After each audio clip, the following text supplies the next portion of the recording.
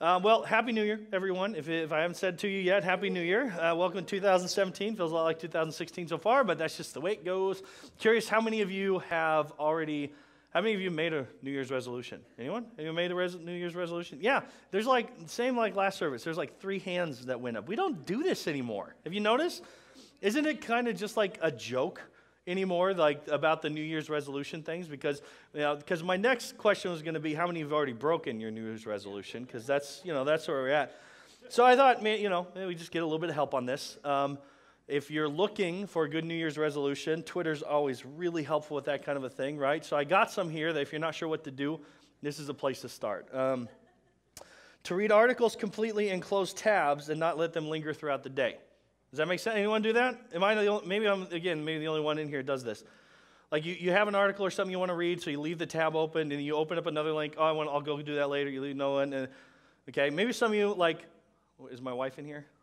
Okay, I love you, dear. But that girl will have like 30 tabs open, and she wonders, she asked me, why is the computer running slow? And I'm like, come on, hun. Like this is, this is, this is, and, and my daughter's already doing that too. So that's a simple one, right? You could do that. Uh, learn the difference between effect and affect. Any grammar Nazis in this room that just drive anyone crazy? How about learn the difference between your and your? Your and you are, right? Can we please learn the difference between that? Okay. Uh, this one I really thought was very practical. Make an actual resolution sometime before next September. I like that. It's, it's, I mean, that practical? Like, like I'm going to actually make a decision by next September because we all know that it doesn't really happen. And he said, I'm going to have to set a reminder on my calendar. I think that's great.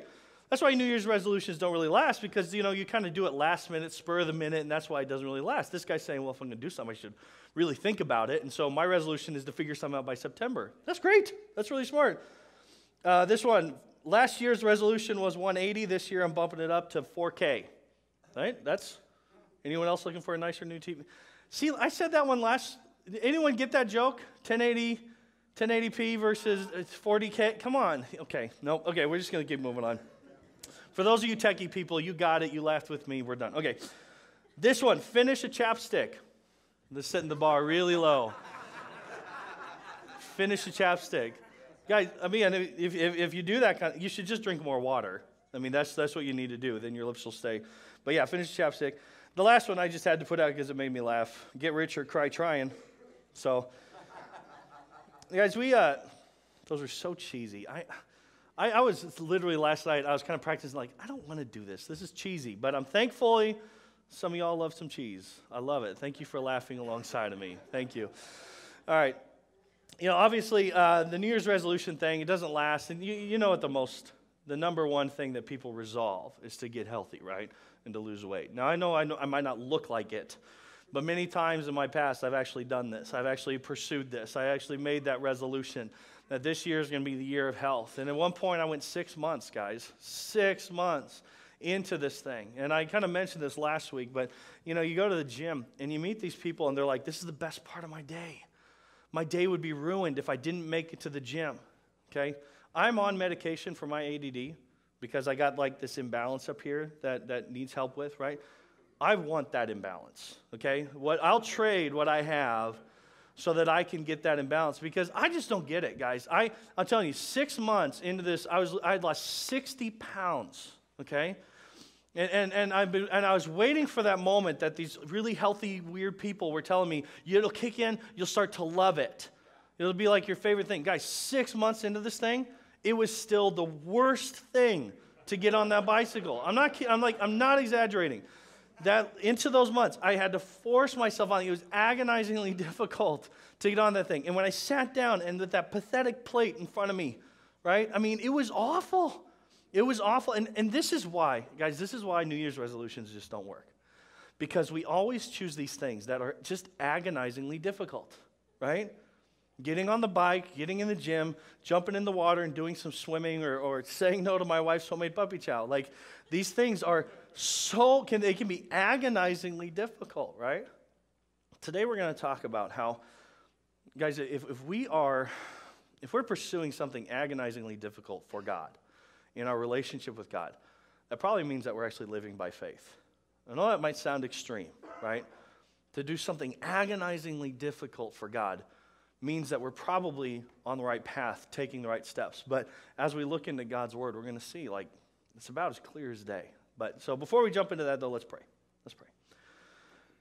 Jesus, I thank you for this day and God, you know that my words are just not going to be enough, especially for this topic. And so, Jesus, my my simple request is that you'd be glorified in this room in such a way that people would know how important this is and that people would take the, the seed of your word and that would go deep down into their hearts today. I pray that your spirit would be with us in this place today, preparing our hearts to hear what your word says so clearly. I pray that we would make peace with the truth that we're about to, to, to, to look at here today. And that you would go with us from this place. Again, because I know my words are just, they're temporary. They're going to get lost. They're going to get lost in the busyness of today and tomorrow and the holidays, God. And Simply just ask that you'd be glorified in such a way that this word would go with us. Because we need this. God, the world needs this so bad.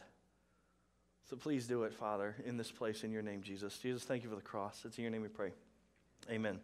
If you have your Bibles, go ahead and open up to Luke 13, verse 22. But before we actually dig into that, um, the, as we look at this idea that if we're doing something agonizingly difficult, and how that kind of gives us an indication that we're probably on the right step of, you know, taking the right steps of faith, we're also going to be looking at a question um, that is, that's a really, it's a really tough question that kind of, it might not seem like it goes hand in hand, but again, by the end, we'll kind of see how these two things fit together. And the question is this, okay? If Jesus is the only way, if Jesus is the only way to God, doesn't that mean that a vast majority of people living now and those who have lived and those who are going to come will not find the way to God? Okay? I'm going to ask that question again. We got to let this one sink in. If Jesus is the only way, doesn't that mean that a vast majority of people are not going to find the way to God? Now, I know that some of you have thought about this question. You've made peace with this question in your own heart, in your own faith. But, guys, this question should matter to us because I've met many, many people that this is a stumbling block to them coming to Jesus. Okay? And especially in, in our culture today, where there's saying, well, Jesus is just one of the ways to God. There's lots of ways to God, you know, that, that's very much prevalent in our society today, guys, that this is a stumbling block to people wanting to follow Jesus. And so, even if, even if you have made peace with this in your heart, you should care about this question. You should care about it in such a way that you can speak intelligently to answer this question because, again, you are going to run into people who have a problem with God because of this. So, you should care about it. You should study it. You should know how to answer this and talk about it intelligently. So, as, as we, with that challenge, Jesus was asked this question, so we should probably know what he said in return, right? So, Jesus was asked this question. It's found in Luke 13 22 through 30. It says, Then Jesus went through the towns and the villages teaching as he made his way to Jerusalem. Now, right now, Jesus is in Perea. Perea is on the eastern side of the, of the, of the Jordan River. Okay, Judea is on the western side. The Jews, okay, the Jews don't have as much of a hold and don't have as much power in Perea. That doesn't mean, that doesn't necessarily make uh, doesn't, it's not very important to our story today. It will next week when you come back. Notice how I said when you come back, right? Next week, that'll be more important. But the reason why I bring that up is because, so Jesus is in a place now where people are really loving him. They're very much seeking for God. They're very curious about who this Jesus is. And when you're on the east side of the Jordan in Perea, you notice the questions very much seem to be a lot more about actually seeking God versus when Jesus is in Jerusalem, there's a lot of questions where Jesus is trying to be trapped Okay, where people are trying to trap Jesus with the question. So it's kind of a relief to be in Perea right now with a real genuine question about God versus something where someone has already made up their mind about God and they're just trying to trap Jesus. Okay? So this is obviously coming from someone who's actually genuinely seeking. Listen to this. Someone asked him, verse 23, someone asked him, Lord, are there only a few people that are going to be saved? That's a pretty clear, right? Pretty clear, direct question. He said to them, verse 24, Make every effort to enter through the narrow door, because many, I tell you, will try to enter, but will not be able to. Once the owner of the house gets up and closes the door, you will stand outside knocking and pleading, Sir, open the door for us. But he will answer, I did not know you or where you come from. And then you will say, We ate and drank with you, and you taught us on the streets. But he will reply, I don't know you or where you come from. Away from me, you evildoers. There will be weeping there will be weeping there, and gnashing of teeth when you see Abraham, Isaac, Jacob, and all the prophets in the kingdom of God, but you yourselves have been thrown out. People will come from the east, the west, the north, and the south, and they will take their place at the feast of the kingdom of God. Indeed, there are those who will be who are last who will be first, and the first who will be last. Now, as you read this, this sounds like a pretty cold and harsh Jesus. Now, we got to understand, when we are reading the Bible, you always got to keep in mind this was something that was written in Greek that we are translating into English. And if you've ever studied a second language, you know how many things can get lost in the translation, especially when you're just going straight from text, okay? If you don't have someone who is a part of the culture, who's a part of, you know, they, the way they phrase things and what they mean behind the phrasing, I mean, we all have that in our languages, and that can be even specific to different areas. The same phrase can carry almost a different meaning, right? I mean, we see that in our language as well, okay? So we got to recognize there's a big difference between Greek and English, and there's a big difference between a first century Jew, the way that their, the way that their culture was, their world worldview, okay, the way that they looked at God, very different from the way that a 21st century American looks at God. Okay, very, very different. So when we talk about things being lost in translation, that's, that's why, guys, I find people who are much smarter than me and I read what they say about history and all this stuff in the Bible. That's why commentaries and Bible dictionaries are not just necessarily for people who went to Bible college. You have access to those resources, you can use them because they can help you in your study of God, because they can help you kind of flesh out what Jesus is saying here. Like, for example, when Jesus is talking here, you can tell that he's actually aiming his answer at the Jews in the area. Okay, the Jews that are, because of what he says here in uh, verse 25. Once the owner of the house gets up and closes the door, you will stand outside knocking and pleading, Sir, open the door for us. But he will answer, listen to his answer. It says, I don't know you or where you come from. I don't know you or where you come from. To the first century Jew, that would have been a very difficult pill to swallow. Because where you come from is everything to a Jew. Okay, the owner of the house, obviously being God, rejecting them and saying, I don't know where you come from, would have been, What are you talking about, Jesus? I'm a Jew. I'm a son of a son of a son of a son of a son, and so on, of Abraham.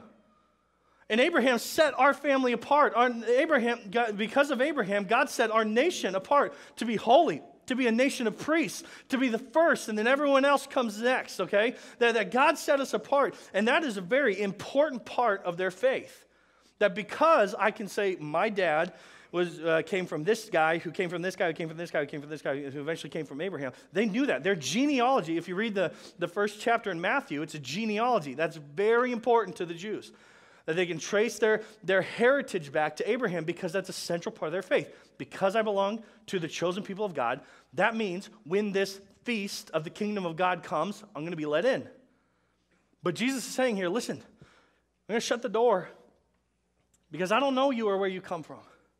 In fact, he goes on, if I guess to put a little bit of salt in the wound or a little bit of lemon juice in the wound, he says, People will come from the east and the west and the north and the south and take their places at the feast of the kingdom of God.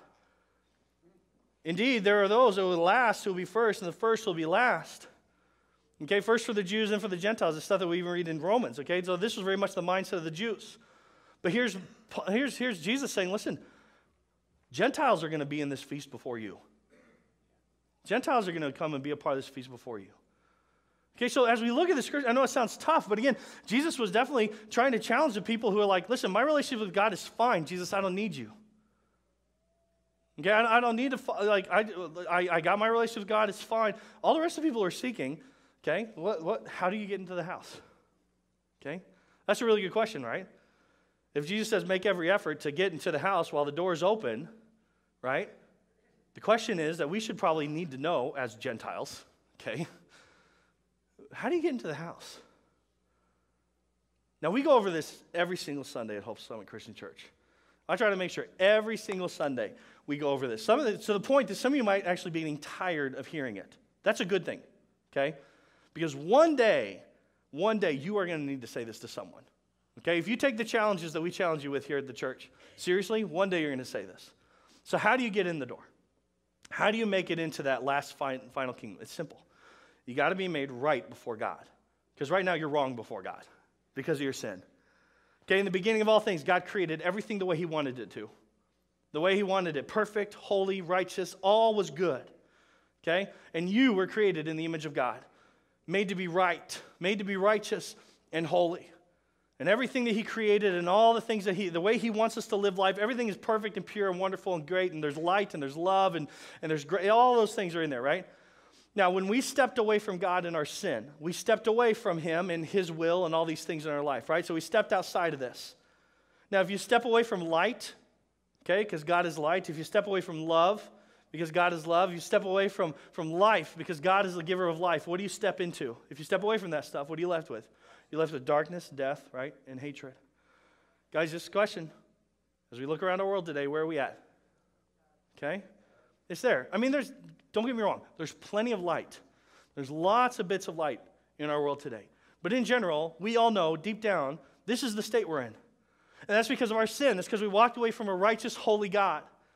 Okay? And so, and so, so God not being okay with this state, because with, with our sin is death. The, the wages of sin means death, right? God not being okay with this state, what did he do? He sent his son Jesus to this earth. Now, Jesus never stepped outside of this, right? He stayed righteous before God. He remained perfect. That's important. That he never sinned, he never walked away from God. And therefore, because he didn't sin, he didn't deserve to die. If the wages of sin is death, that means Jesus didn't deserve to die. But he went to the cross anyway. Okay, and Paul tells us that he became sin for us. Okay, so he steps out so that those who believe can step in, so that we can become the righteousness of God, so we can be made right in the eyes of God. Okay, so those who believe, those who are baptized, receive that gift of the Holy Spirit, guys, that you are then made right before God. That's how you get in the door. Okay, it says faith in Christ. Come as you are, like, Rick's, like Rick was saying during communion, right? Regardless of what you've done, and God knowing the things that you're going to do, right? What He has for you is love. What He has for you is a sacrifice where He took the punishment of your sin on Himself. Okay, so that you could be made right before God. That's what He offers you. That's how we're made right before God. Uh, Paul uh, one of uh, one of the guys who, I mean, Paul was like the guy who persecuted Christians, and then when he met Jesus, he became a missionary for him. Okay, listen to what he says in Romans three twenty two. It says, "This righteousness is given through faith in Jesus Christ to all who believe." There is no difference between Jew and Gentile, for all sin and fall short of the glory of God, and we are all justified freely by His grace through the redemption that came through Jesus Christ. So you and I have been redeemed We've been brought back into this place of righteousness. We've been brought into a place of peace and love, right? We've been brought into a place of life. So that's how you get in the door. But what's interesting is Jesus' words when he says, Make every effort to get into that door because it's narrow, right? Make every effort. Now, that word, again, difference between English and Greek. Make every effort is the word agonizomai. Okay? Agonizomai. What does that sound like? You kind of get where I'm coming from now, right? When I talk about agonizingly difficult. Okay, agonizomai. It comes with, oh, there's like four different kinds of definitions on here. Uh, this, uh, to contend with an adversary, right? To endeavor with strenuous zeal, to strain after something to get it. It's a contest, right? It's a fight. It's a struggle with difficulties, okay? That's what agonizomai means.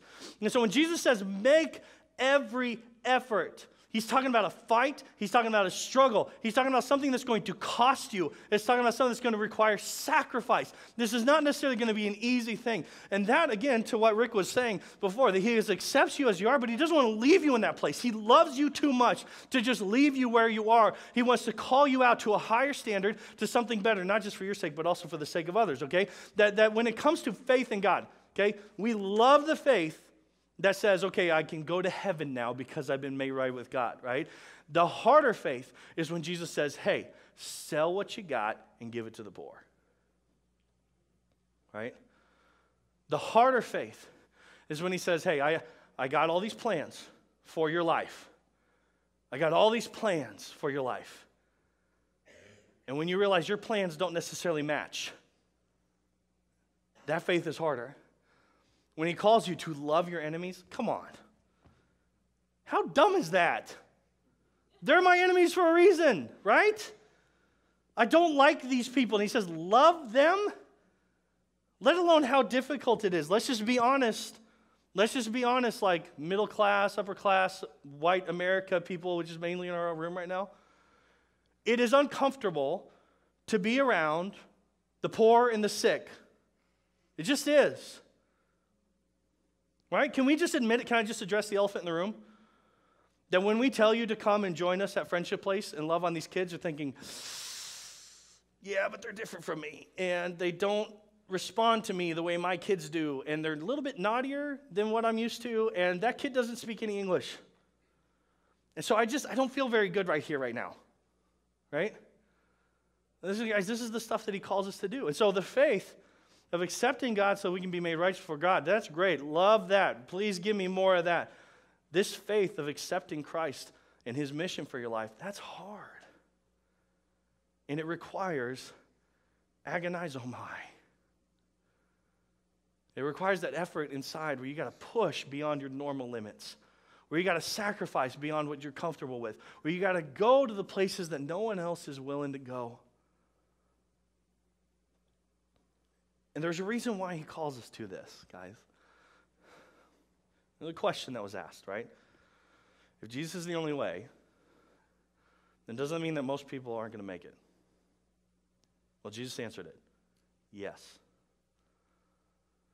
Okay, which brings up another question. If Jesus is the only way and only a few are going to make it, how can God be good? A question that, again, you should care about. A question that should bother you. Now, again, you might have been made, you might be like your own personal faith has maybe overcome this question already. But again, just for the sake of other people who genuinely don't want to pursue this God because they don't see him to be a good God, because how could a good God make it so hard to find him? If he really is good, why would he make it so difficult? And here's how these two th- thoughts kind of connect. I think that question is misdirected. How can God be good if so many are going to miss? Guys, as I was studying this, my, my thought was, how can Christians call themselves good if this is the case? I know, guys, if I were to take like everyone who considered themselves to be a, a Christian, just with that label, right? There's going to be a lot more people than you think. I took them into my office one by one and said, hey, are you a good person or a bad person? They would say, well, oh, I do this, I do that, and I don't do this and that, so I'm probably a good person, right?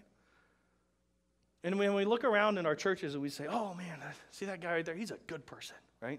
That's a good person right there. Guys, following Jesus is hard. I'm not going to sugarcoat this for you. Okay? The redemption that he has for you through faith, it, like when we say it's free, I feel like sometimes there might maybe a little bit of an asterisk right there, right? In-app, in-app purchases later, right? Like, because what he calls us to is not easy.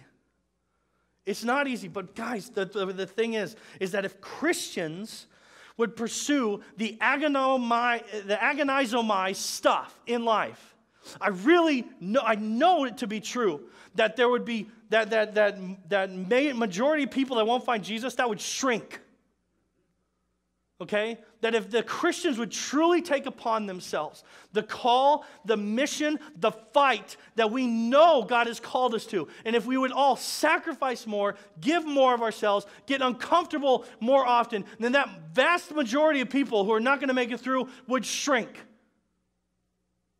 Yes, you would be able to be confident in standing before God and say, I know I'm doing this tough stuff. I know that through Christ that my salvation is free. But guys, as you walk the path, you make the path easier for other people to follow. Right? So Christians, I'm calling out. 2017 needs to be different than 2016. Not just for your sake, but for the sake of this vast majority that needs you to do the hard stuff so that they can have a chance to get through this narrow door. Yeah, the door is narrow, and yeah, it's shut. Listen, this is not a parable about like knowing how to open the door or being good enough to open the door. It's simply a parable of get through the door while the getting is good. Okay, that's what it's about. And that if you want to get through, you got to make every effort you got to agonize, you got to sacrifice, you got to go after the tough stuff, you got to get uncomfortable to go after this. So, Christian, my question to you is this What's going to be different this year? As you look forward to 2018, like, uh, or I should say, when you're in 2018 looking backwards, I'm curious if you're going to be able to look at a difference between who you are now and who you're going to be then. Okay, I want to challenge you to consider very carefully, very carefully, this idea. I'm going to do something really hard. Rick said I was going to introduce some guys here. We got our boys from Teen Challenge here. Love you guys, and love having you here. yeah. I'm going to brag on our church a little bit here. So here we're going to kind of puff out our chest a little bit. They didn't, they didn't have a, a place. To, normally, we have these guys over. When we're here, typically they're up on stage, right? And they're dressed all real nice and they're, they're singing. Oh, so great to hear you guys singing again. Anyways, um, this, this weekend they didn't have anywhere to go. And so I got an email saying, hey, they want to come to Hope Summit. Can they come? I was like, yes, that's my church, baby. That's right. They want to come here. I love it. Guys, but see, the reason I love it so much, these guys, these guys are an inspiration to me. How many of you guys have kids at home right now? How many of you guys have a spouse or a girlfriend that you love at home? How many of you have stuff that you miss in a storage unit or hanging? Okay. guys, um, for those of you who don't know, uh, uh, a lot of these guys are here um, at this Teen Challenge uh, place here in town, and uh, they're there for like a year or longer. A year or longer. And the Christmas season just hit. And that meant some of these guys didn't get to see their kids. Right? That's agonizing. Okay, uh, I take my phone for granted. And uh, w- one time I broke my phone, and I was a big baby about it, okay? so maybe it's not as agonizing as not being around your kids, but still not a lot of fun, right? Some of these guys I know, I know some of their stories that they well, eventually it probably would have imploded upon them, but they were like in careers. They were making money, they were doing stuff, they were pursuing their dreams. But see, what they did was they realized if I got to get healthy, I got to do something that's going to be agonizing. I got to do something really, really hard. And I think so, I think the, so highly of you guys that are going through this year long program because you guys have the guts to do something that very few people would be willing to do. And so I hold you in very high esteem. I'm very proud of you. And uh, you're an inspiration to me. You really are. That you're willing to agonize for the sake of your families, for the sake of your health, and now you're fighting for the sake of God, right? For His glory in your life, right? Yeah, I love you guys. Yeah.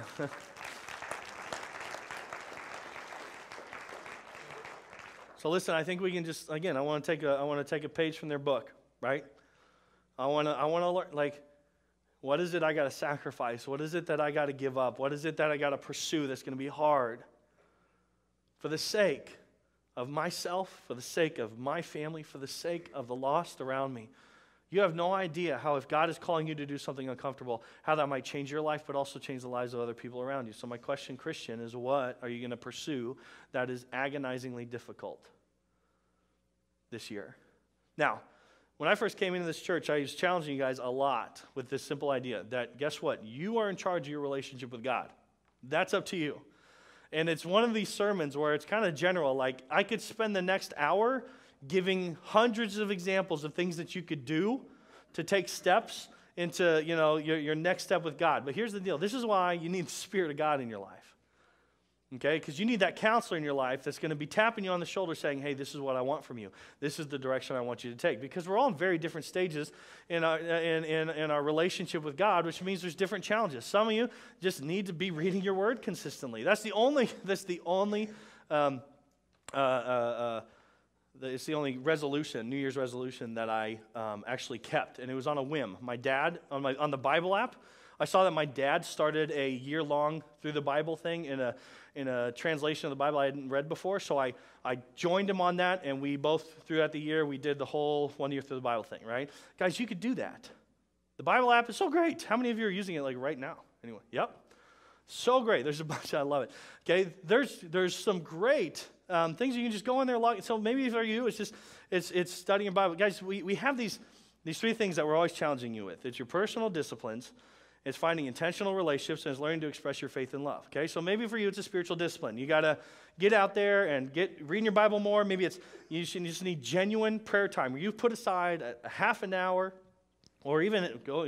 This might sound crazy, I know, but maybe one less show of the day, an hour of prayer. You sit down and you spend some time in prayer. Okay, so come again on Thursday, this Thursday, and we'll, we'll, we'll show you how easy it is to fill up an hour of prayer, right? Or maybe, maybe it's fasting. Okay, maybe for some of you, actually, this, this, maybe for some of you, it's just coming to church consistently. That's a spiritual discipline. And if you're not doing that right now, maybe that's your next step. So you understand when, like, especially if you're fresh to the faith, I'm not asking you to, like, go be a missionary right now, okay? I'm asking you to take your next step in your relationship with God. For some of you, you need to be intentional with some relationships in your life, whether that is going out and finding someone who's going to call you out on your stuff. You need some accountability with something that you're facing. Okay, that's why we offer small groups around here. If you're interested in a small group, we can get you connected. There's lots of ways to sign up online, or you can sign up through the blue card or whatever. You just come talk to me, send me an email, however we can do that. That's why we want to connect you to small groups, because you need people in your life that are going to continue to encourage you and love on you and challenge you. And, and, and, or maybe you need to do that in someone else's life. Maybe you're in a place where you recognize, yeah, I am living for God. I'm doing the difficult stuff. You need to help other people do that. So, who in your life do you know who could really use your help to taking their next step in their relationship with God? Who do you need to be intentional with? The last one is expressing your faith and love. Well, I was telling you guys, serve, serve, serve, serve, serve, serve, serve. We had to close the service um, this Sunday. We, I mean, we had to close, not service, good grief. We had to close children's ministry stuff this Sunday because we had just had a bunch of people out of town. It's no big deal. It's the New Year's, it's whatever. But guys, I'm looking around the room. Some of y'all could have come for service, right? And served, and then come and uh, you could have served one service and then come to a service, right? You could do that. And so maybe that's the agonizingly difficult thing is to change a diaper. Listen, I get it. I'm out of diapers, been out for a while. I'm not interested in going back, okay? Maybe that's your next step. I don't know. Okay, so maybe it's, maybe it's like Friendship Place, like I talked about. We had an awesome volunteer who was there every single Friday. She can no longer come. She had to move. We are in need of Friendship Place. Guys, maybe for you, the difficult thing is to come and hang out with us on Fridays at 3.45 every Friday in the afternoon to come and hang out with these kids. Yeah, they're, they're can be kind of crazy sometimes. Okay, let's, let's go have craziness around us together. I'm there. I'd love to have my daughter comes with me. Just, yeah, come and be a part of that. However, it is that you think, maybe I could serve in this way. Maybe it's giving. Maybe it's, I don't know. What is your, what does your relationship with God need to look like this year? Okay? What's the agonizingly difficult thing that you need to pursue this year? So I'm asking you to make a New Year's resolution. I'm asking you to consider this. If you need to, do what that one guy did. I'm going to make up my mind by March so that I can make sure that I am taking this seriously and preparing myself to do something hard. Maybe that's what you need to do. That's fine. Set a reminder in your calendar, like he said, right? So, what is your next step? Guys, I just know if you're doing something agonizingly difficult for God, you're probably on the right track. Okay? So, let's be that church. Let's pray. Jesus, I thank you for this day, and I thank you so much for your grace and for your love. Um, thank you that you didn't skirt around the hard issues. Thank you that you answered them so truthfully, even though the truth is difficult to hear sometimes. Father, I pray the Hope Summit Christian Church, the guys from Teen Challenge, God, that we would be the followers who are agonizing on your behalf. Jesus, you agonized for us. Thank you for the way that you showed us this great example. Jesus, through the cross through coming and living on this world. Man, you could have just stayed up in heaven. God, I thank you for your perfect example. And I'm praying that your spirit would go with us, that your spirit would be ringing in our ears. That as we walk out these doors, as we get to our cars, as we pursue the normal busyness of life, that the enemy would have no foothold in our hearts and in our minds, that he would not be able to distract us from taking this message for this word, okay, and that we would that we would agonize on your behalf. Jesus, we love you. It's in your name we pray. Amen. Oh, here's my sign. Can y'all help me pick up the chairs? Uh, we're going to put them in stacks of seven, or eight, sorry, stacks of eight, and then we'll push them up against the sides of the walls, if you would, please. Thank you.